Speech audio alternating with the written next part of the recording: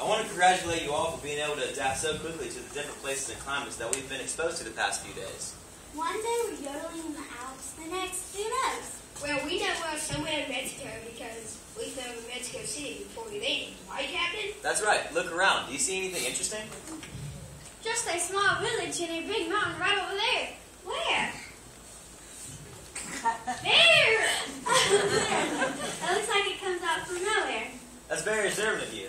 This is the only volcano whose birth was witnessed by modern man. I knew it. It's the Paricutin Paricutin volcano. I read about this in class last year.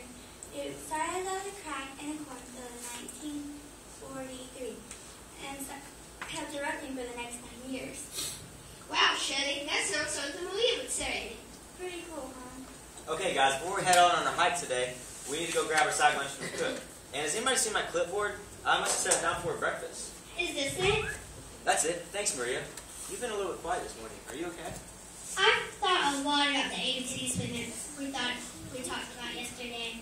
I asked Ethan a bunch of questions. Questions are good. Well, I knew the facts about Jesus for a very long time. I knew all the books of the Bibles. I knew a lot of verses, but I thought there was something missing. And do you know what that something is? I think it's the power you were talking about.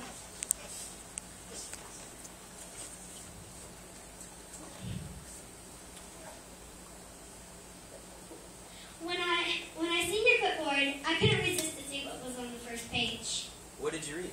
It was the story of how Jesus died to pay for our sins. How did that make you feel?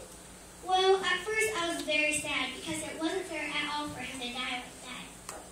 And then I started reading more and more, and then I seen that then then I became happy because well, he didn't stay dead.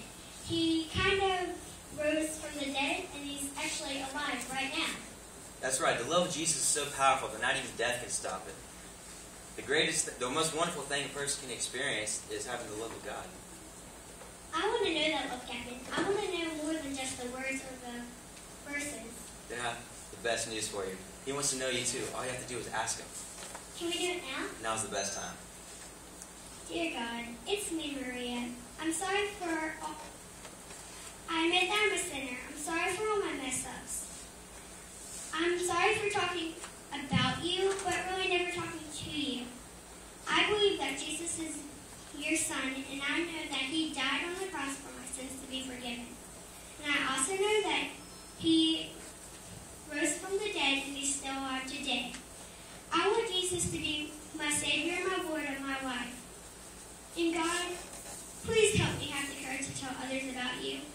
Thank you. In Jesus' name I pray. Amen. That was beautiful, Maria. Welcome to the family. Thank you, Captain. Going to tell the team. I'll catch up in a few minutes. Thank you, God. This is the adventure I was hoping for. You are so awesome, God. Your power is amazing.